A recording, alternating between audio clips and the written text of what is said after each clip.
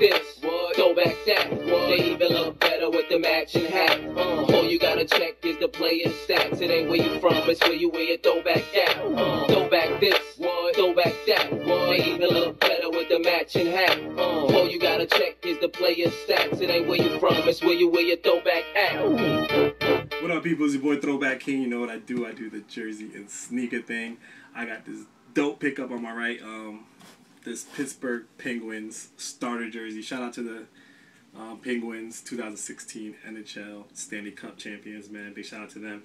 And this is my first starter jersey. I was kind of hesitant. I thought starter um, hockey jerseys were going to be, you know, kind of cheaply made, but I was surprised, man. The quality is amazing. Um, I love this. This is one of my favorite Pittsburgh Penguins uh, jerseys because it just reminds me of Snoop Dogg on the Gin and Juice video. Was it the Gin and Juice video where he's on the on the bike and uh, getting his hair braided on the stoop?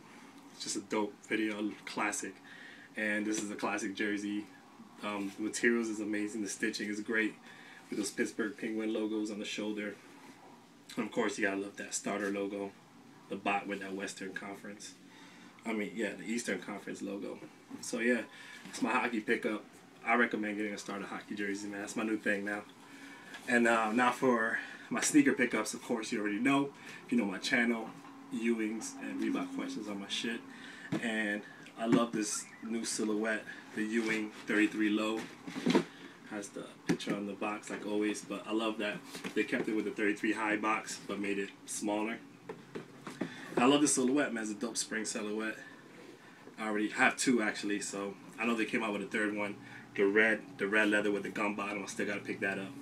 So this is the kind of like a Georgetown Hoya low, which I'm a huge Georgetown Hoya, Georgetown Hoya's a fan, and it has that navy blue suede with that white bottom, and that silver Ewing in the back with a 33, and of course that iconic tongue with that Ewing, Ewing Patrick Ewing logo. And I picked up the white version, the white and gum, which is perfect for spring and summertime. Um, it has that nice leather. Everything is in white, and of course that gum bot, that gum bottom. Really classic look, man. Took a couple of pictures with these in, uh, on Instagram. Go check those out, man. Follow me on Instagram, man. At phatboisnackz. I'll leave that information on the, the description below, man. Hit me up with a with a follow, man. And now for the hats.